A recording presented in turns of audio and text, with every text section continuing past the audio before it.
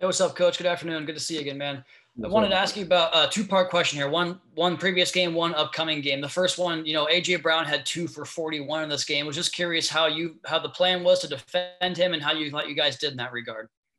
You know, uh, the, there was various ways we are going to defend him. You know, uh, obviously you had Xavier Howard matching up on him, and you know, different times you had Byron on him in different situations. Uh, you know, one of the catches were in zone. Uh, the other catch was a man-to-man, man-to-man play.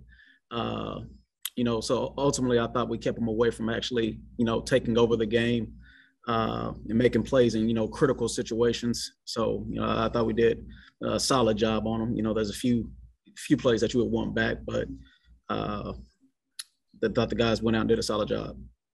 Thanks. And then my next question would be about the Patriots upcoming this week. I always find it fascinating when a team plays a, a certain team week one, then again the final game of the season for the kind of bookends. It just over the course of a season, you saw you saw them in September. Now you're preparing for them here in January. What have you seen from their offense that's kind of changed and evolved over that time? You know, I really think the uh, it really starts with the quarterback. I think the quarterback uh, operating very well with the offense. Uh, I think he's you know making good decisions. I think he's decisive. Um, then from a receiving standpoint, you know, uh, I think they're all playing well. Uh, you know, Bourne, uh, you know, really it starts with Meyers. I think Meyers is a really good football player uh, from blocking, um, you know, run after catch, catching, getting open, running good routes. Uh, you know, you still have N'Keal Harry, good possession receiver. You know, so I, th- I think it's a really solid group, and uh, I'm interested and excited for this challenge. Right, thanks, Coach. Yep. Barry. Charles, uh, how would you assess how Nik Needham has played this year? I think Nik, Nik has done a really good job, uh, especially, especially you know, uh, just providing flexibility within the defense. You know, he's lined up on the perimeter, lined up at the slot, lined up at safety. Uh, it's been productive, you know, and he's actually started in safe at safety, you know, in the game, you know. So I think anytime you have a defensive player that you know provides you that type of flexibility, uh, it's always a good thing, and especially for a guy who works at it as hard as Nik, who prepares as hard as Nik. Uh, yeah, I'm really happy for him. I want to ask you also about Noah. Obviously, thank God your starting corner stayed healthy all mm-hmm. year, uh, mm-hmm. so you didn't see him a lot defensively in games. Do you still, after two years, have any idea what you exactly have in Noah as a cover corner? You know, uh, I think Noah's main focus is really just coming to work and getting better. You know, and, and as long as, as long as he keeps doing that, you know, uh, and when his opportunity does arrive, he just has to take take advantage of it. Uh, you know, fortunately, we have guys that are at the perimeter playing at a high level, and uh, you know that just is what it is at the, at this point in time. But just Noah just needs to keep working and getting better each day, and just focus whenever that opportunity does arrive, just take full advantage of it. And I want to ask one more, Veer, if I could. Charles, uh, with Noah, what is the NFL skill that leads you to believe that hopefully he will have success as an NFL corner if needed?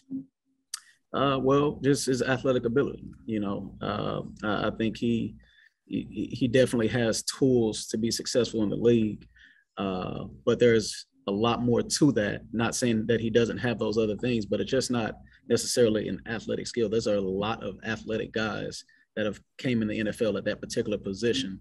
Uh, but there, there's more that goes into it. So uh, it's not just necessarily being a really good athlete. You know, it's the preparation, um, it's the instincts, it's you know the film, it's all of that encompassing that can really change a game and take it to a high level.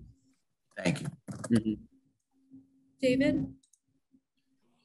Hey, coach, and just to follow up on, on Noah, what will you leave him with going into the offseason as far as an area or areas you want to see him improve? Uh, you know, the main thing is, you know, routine, attention to detail, and being self-motivated. Again, not saying that he's not. That's just with everybody that I've that I've coached. It, it's the like those three things. You know, if, if you do those at a high level, it's going to put you in a position to do good things when your opportunity arrives again. Uh, he has two guys in front of him that are playing at a high level. So, and those guys in the offseason, they will have the same uh, message to him from me, you know, attention to detail, great routine, and just being self motivated and being able to get up and work at the same techniques at a consistent basis over a long period of time. Barry? Charles, wanted to ask you a similar question with Trill Williams. Obviously, an intriguing package in August. What's the NFL caliber skill he has that makes you guys want to invest in him moving forward? I think you have versatility with Trill as well. Uh, you know, a guy that can play on the perimeter, possibly match up against tight ends. Um, you know, he's played safety. You know, he has a background at safety. You know, so uh, that's a guy that can potentially move around and maybe play in the box. Uh, so I'm I'm really excited about moving forward with Trill and seeing what we have with him. And for Byron this year, obviously he's been really solid. Uh, has there been, you think, improvement in 2021 for him over 2020 with Byron Jones? I thought there was, I thought there definitely was improvement with Byron. Uh, you know, I thought there was more ball production, not necessarily from an interception standpoint, but just affecting the ball from a PBU standpoint. Uh, you know, being in position, uh, just understanding more understanding and getting more comfortable with the scheme. And I think that's really what you saw this year. Just another year two in the scheme. He was very comfortable with what we were asking him to do.